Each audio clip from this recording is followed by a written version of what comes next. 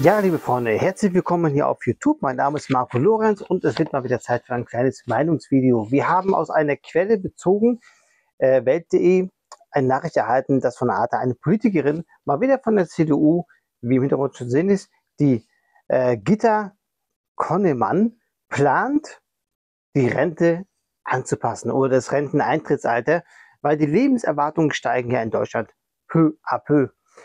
Und ähm, so eine Sachen regen mich mir speziell immer sehr, sehr stark auf, weil ähm, da kommt mir manchmal so vor, als wenn die Politik nicht wirklich nachdenkt, was sie überhaupt von einem will oder wie auch immer. Und ich will mal gerne meine Meinung dazu hören sagen, zu dieser dummen Aussage, aus meiner Sicht der dummen Aussage der Politikerin, äh, beziehungsweise auch der dummen Aussage des Öfteren, auch der Politik allgemein. Und ich bin auch gespannt über eure Meinung dazu, über dieses Vorhaben dieser Politikerin oder auch teilweise Vorhaben der Regierungen allgemein gesehen. Wir wissen ja von der ATA, dass ähm, unser Vaterstaat Geld braucht, um in Allgemeinen zu fassen. Und ähm, Vaterstaat versucht dann ja zu sparen, wo es geht, sei es halt auch an der Rente, indem man beispielsweise sagt, das Renteneintrittsalter wird nach oben geschoben. Das ist eine Maßnahme, mit der der Vaterstaat viel Geld sparen kann. Vielleicht auch mit der Hoffnung, dass die Arbeitskräfte auf der Arbeit dann doch versterben. Wie komme ich jetzt zu dieser kleinen These jetzt? Ja, die CDU-Politikerin sagt, die Lebenserwartungen in Deutschland steigen peu à peu. Als die Leute hinter mir zu sehen, die Rentner werden immer älter. Zum Beispiel ein Rentner mit 65 Jahren, ein Rentner, hat noch ungefähr, wenn er mit 65 Jahren in Rente geht, eine Lebenserwartung von plus minus 18 Jahren aktuell. Eine Rentnerin hat mit 65 Jahren noch eine Lebenserwartung von ungefähr 21 Jahren. Das heißt, der Rentner hat noch 18 Jahre zu leben, in denen er auch arbeiten könnte. Die Rentnerin hat noch 21 Jahre zu leben, in denen sie arbeiten gehen könnte. Das sind die faktischen Zahlen, mit denen die Politik gerne um sich wirft, ja, weil wir Menschen werden ja immer älter, auch dank der modernen Medizin. Problem ist dabei nur, und das vergessen die Politiker immer wieder gern und immer wieder irgendwelche Flugschwätzer, ähm, dass neben des höheren Alters, was wir auch dank der Medizin nur erreichen, dennoch die Arbeit, die man ausübt, mehr oder weniger dafür entscheidend ist, wie alt man dort wird. Liebe Politik da draußen, man erinnert immer wieder gerne dran und ich mache es auch mal wieder gerne. Ähm, sagt, geht ihm auf eine Baustelle, ja, und fragt mal bitte zu den Leuten, die da wirklich nur 10, 20 Jahre lang auf dem Bau zum Beispiel arbeiten, wie viele Jahre schafft ihr noch oben drauf zu geben? Über 65 hinaus. Die meisten sind froh und sagen, ich bin froh, wenn ich das bis zur Rente dort durchhalte.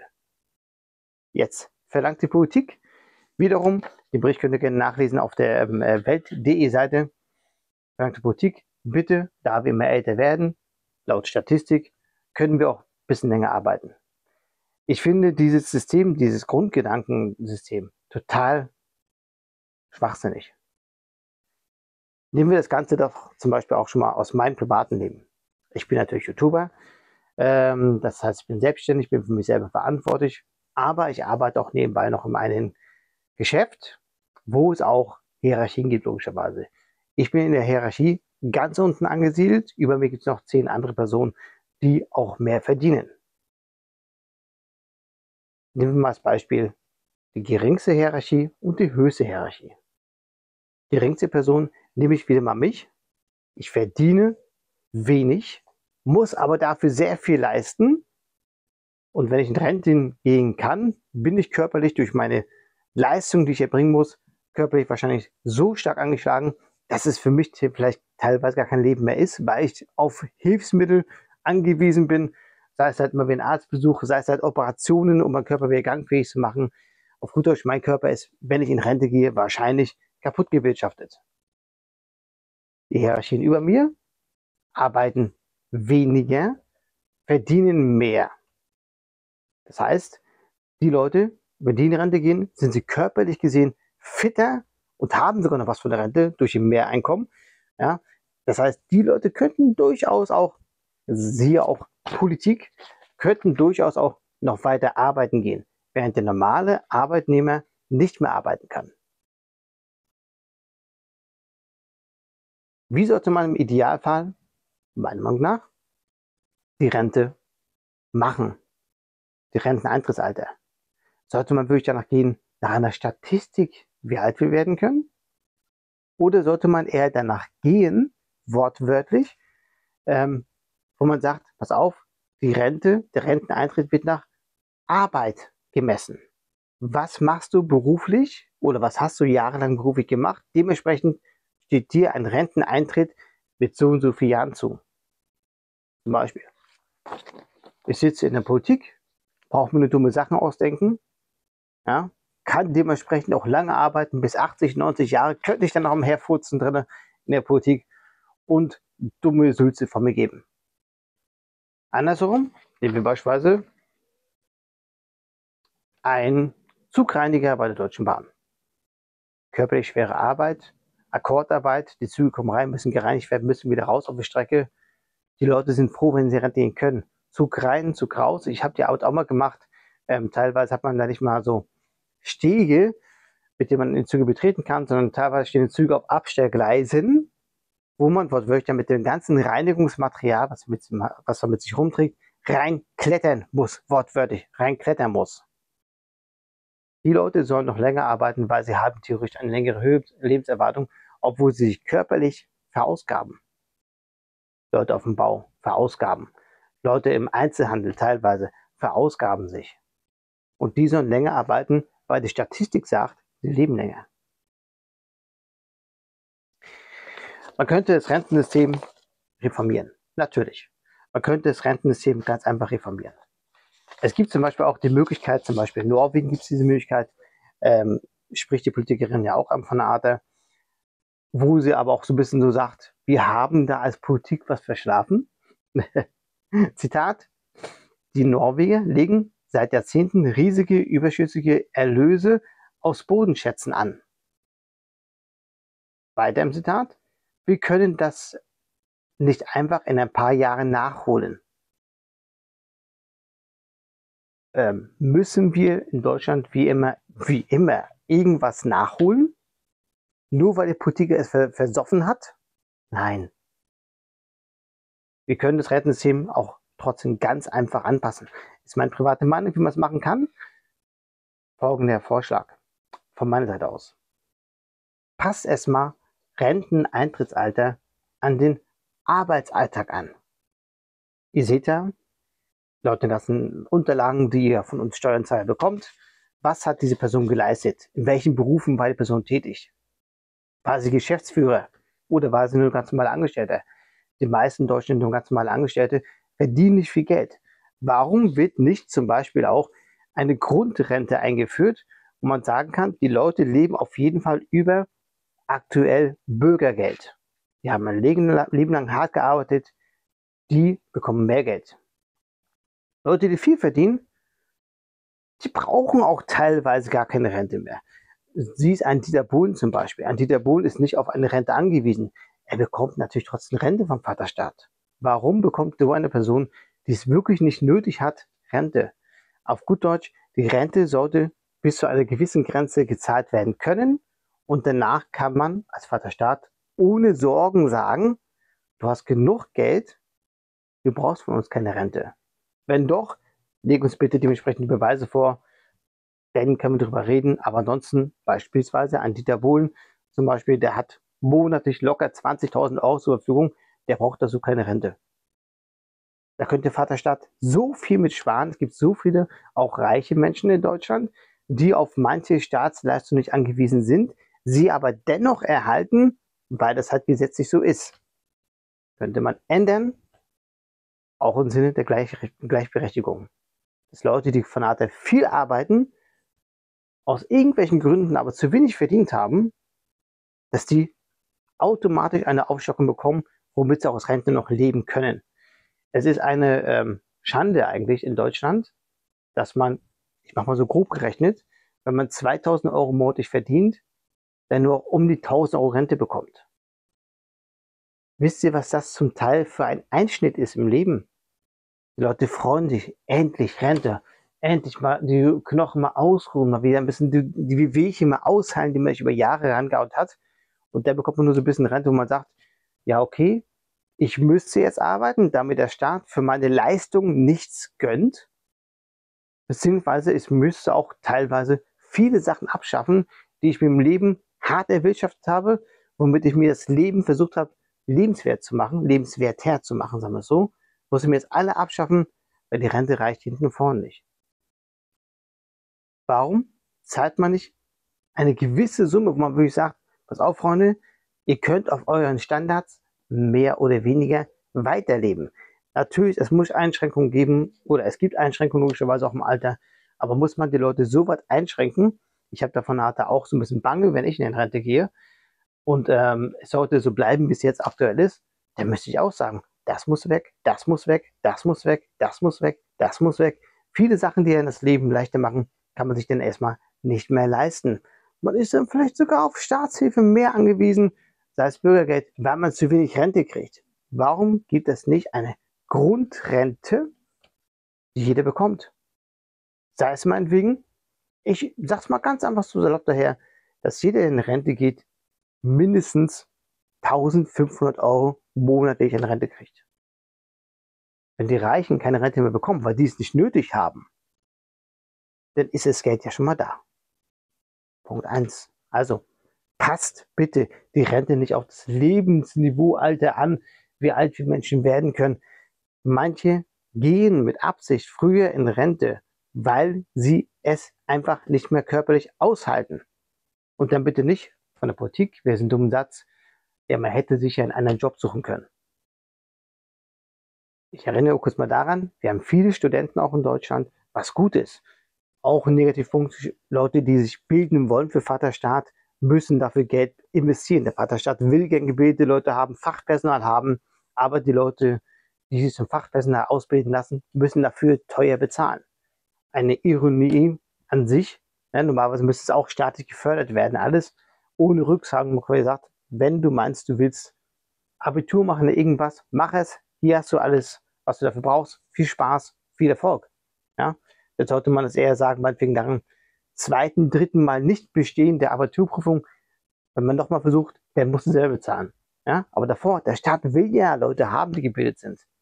Aber zockt die Leute grob ab. Auf gut Deutsch, einer gesagt, Leute, die sich das nicht leisten können, ja, diese Fortbildung zu machen, die sind für den Arsch. Die mögen es sich, es vielleicht intellektuell, um Geld zu sparen, plant die Politikerin sogar noch mehr. Wir wissen ja, es gibt ja gewisse Jahre, die man die Rente einzahlen muss und dann kann man sogar theoretisch in Frührente gehen, wenn man es sich leisten kann, sobald man seine Beitragsjahre voll hat. Dieses System will diese Politikerin auch gerne abschaffen, aus Gründen, weil wir haben kein Geld mehr in Deutschland.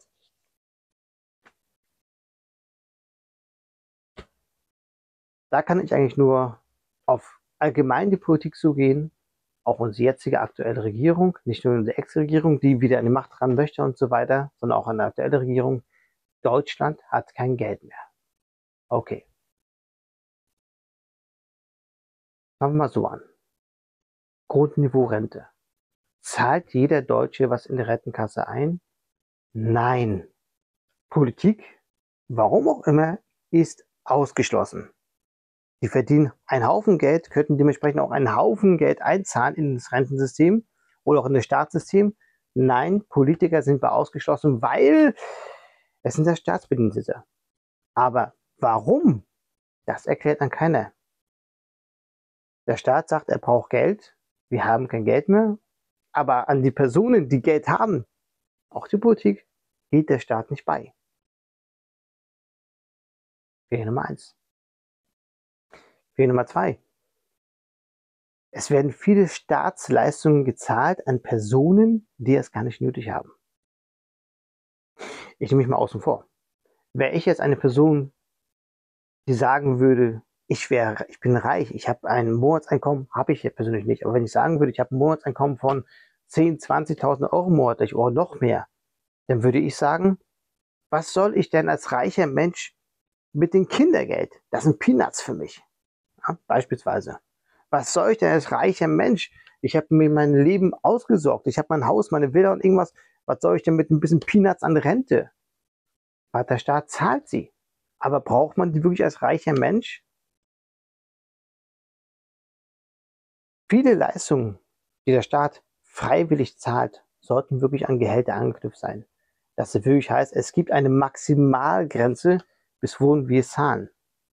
Meinetwegen auch Kindergeld.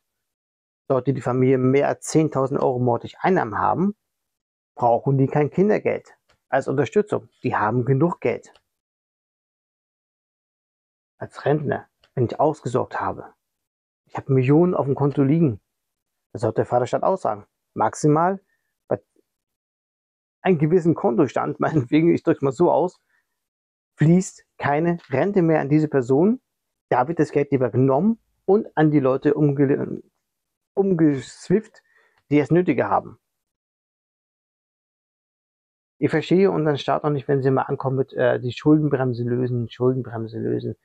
Der deutsche Staat hat so viel Sparpotenzial mit kleinsten Sachen, mit denen der Vaterstaat so viel Geld sparen könnte. Aber nein, es wird immer wieder diskutiert über Schuldenbremse lockern. Wir müssen wieder Schulden aufnehmen, damit wir uns das jetzige System leisten können. Ja, würden wir das Geld nicht zum Fenster rausschmeißen, dann hätten wir auch das Geld auch.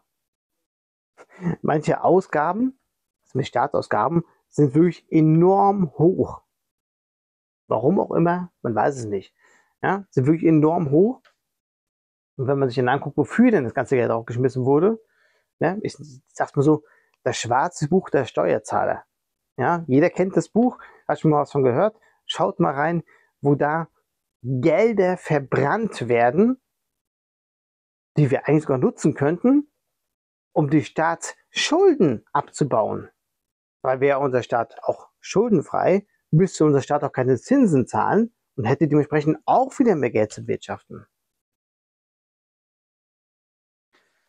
Lange Rede, kurzer Sinn.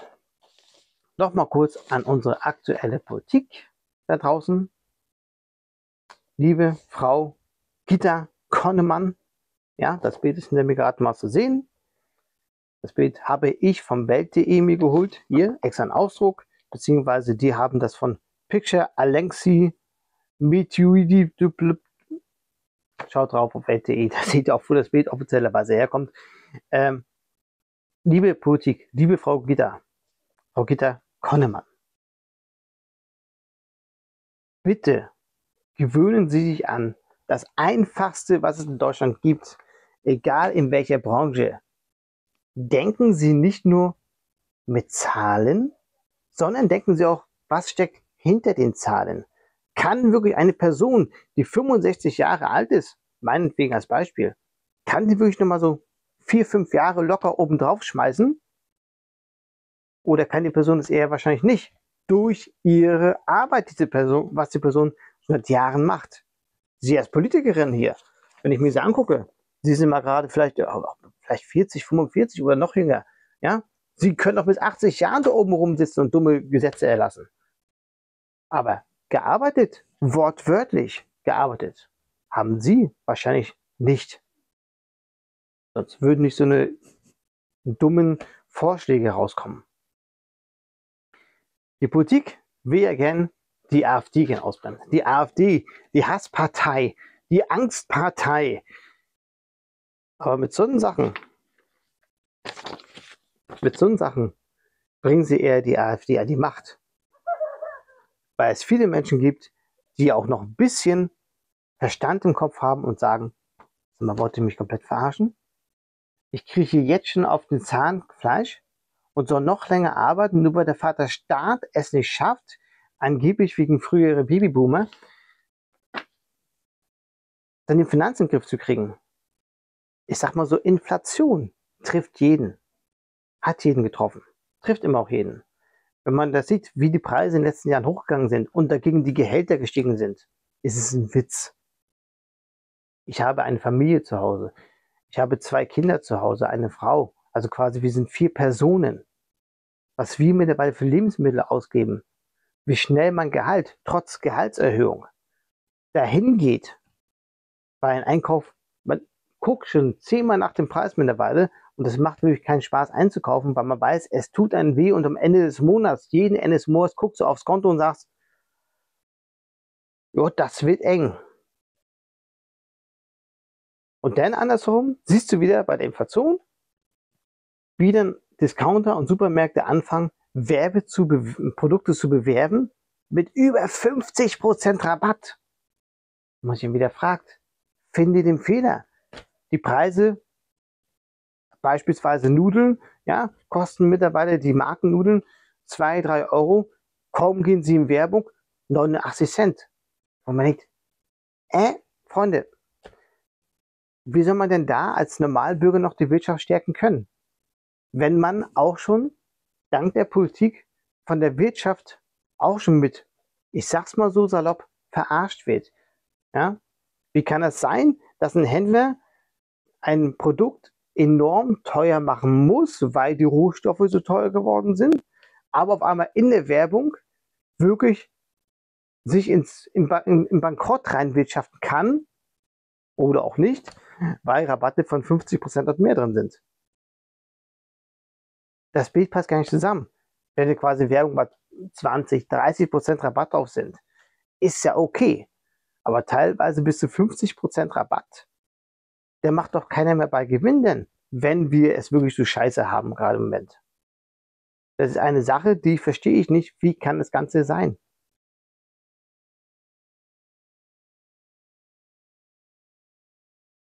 Wie ich immer sage, es wird Zeit, dass in Deutschland eine Partei an die Macht kommt, die auch noch denken kann, die auch noch weiß, wie es ist und die wirklich noch ein Gehirn hat zum Arbeiten. Das finden wir nicht bei der CDU, das finden wir nicht bei der SPD, nicht bei der FDP, nicht bei den Grünen, bei den Linken vielleicht auch nicht. Ob wir es bei der AfD finden, man weiß es nicht. Ob wir es bei der äh, Frau Wagenknecht finden, weiß man nicht. Aber zumindest, wenn ihr schon da oben keine Ahnung von irgendwas habt, dann setzt doch bitte Leute ein, die wirklich Ahnung von der Materie haben, die nicht nach Zahlen gehen, sondern wirklich auch Leute, die wissen, wie es ist an der Materie. Weil ich kann auch mal Konto drauf gucken und sagen, oh, ich habe bei diesem Monat noch 500 Euro drauf. Super, läuft ja, die Zahlen stimmen. Aber wenn ich dann hinter die Zahlen gucke und sehe, was da noch für Ausgaben auf mich zukommen, auf mich zukommen, Entschuldigung, ja, dann sehe ich wieder, oh, die 500 Euro sind doch nicht so viel wert, wie sie aussehen, sondern sind in zwei Wochen locker weg und der Mord hat noch drei Wochen, beispielsweise. Und so ist bei, den, bei der Rente, um aufgrund dem zurückzukommen, genauso. Man kann nicht nach Zahlen gehen, wir Deutschen werden ja so und so alt, sondern man muss auch dahinter gucken, wie lange schaffen es wirklich die Leute, diese Leistung aufrechtzuerhalten. Wir suchen Fachpersonal, wir zocken die Leute trotzdem ab als Vaterstaat. Ja? Studium kostet Geld. Ja? Dann bekommt man von der Politik einen Anranzer, du hast den verkehrten Beruf gewählt und so weiter und so fort. Ja, wir können auch gerne ab sofort alle in der Partei eintreten. Keiner geht mehr arbeiten, alle genug in der Politik, der verdienen alle genug Geld. Der Staat ist innerhalb von zwei Wochen pleite, aber wir können alle mal, mal richtig dumm quatschen. Was meint ihr dazu zu diesem System und zu diesem Vorschlag der Politikerin, dass wir von der Art die Rente nochmal anpassen? Sollte das wirklich so sein oder sollten wir eher anfangen, mitzudenken und sagen, wir müssen die Rente anpassen an die Arbeit, eine Arbeitsrente schaffen? Bei der Riester-Rente zum Beispiel, was die CDU auch gerne noch weitermachen möchte, die Riester-Rente kann sich auch nicht jeder leisten. Arbeitnehmerrente, also quasi, oder Arbeitgeber, dass der Arbeitgeber was mir dazu tut zur Rente, finde ich spontanerweise, ähm, die Idee dahinter ist gut, aber ich als Arbeitgeber selber verstehe den Sinn nicht ganz, warum ich für meinen Arbeitnehmer, der schon Gehalt von mir bekommt, ich auch noch für ihn meine, ich noch für ihn noch extra Rente zahlen soll ergibt eigentlich keinen Sinn. Wozu hat denn der Arbeitnehmer sein Entgelt, wovon schon mal Rente abgezogen wird? Einfach nur diese Systeme, Riester-Rente und diese Arbeitnehmerrente, das sind einfach nur Erfindungen von Vater Staat, weil der Staat hat selber einfach zu dumm ist, um zu wirtschaften. seit Jahren unter der CDU, seit Jahren auch mit im Griff mit der SPD und so weiter und so fort. Und solange wir, wieder, wir wieder oben keine Leute reinkriegen, die wirklich was von Zahlen verstehen, die auch wirklich wirtschaften können, da ist halt auch liebe Grüße an die FDP, unser Finanzminister, der einen Haushaltsbeschluss macht und den drei Wochen später auffällt, uns fehlen noch Milliarden. Mein Staatskonto ist ein Riesenkonto, da gehen viele Einnahmen und viele Ausgaben raus, aber man hat da trotzdem einen groben Überblick. Und wenn man sieht, es geht mehr raus als rein, dann muss man gleich handeln und gucken, wo ist das Loch. Entweder man muss dann für mehr Einnahmen sorgen, indem man mehr arbeitet. Das heißt, zum Beispiel auch, dass Politiker anfangen, Rente zu zahlen. Dass die reichen Leute nicht noch, nicht noch Leistungen bekommen, die eigentlich für die nur Peanuts sind, die sie gar nicht brauchen. Das wäre schon mal ein Punkt, womit mehr Geld reinkommt.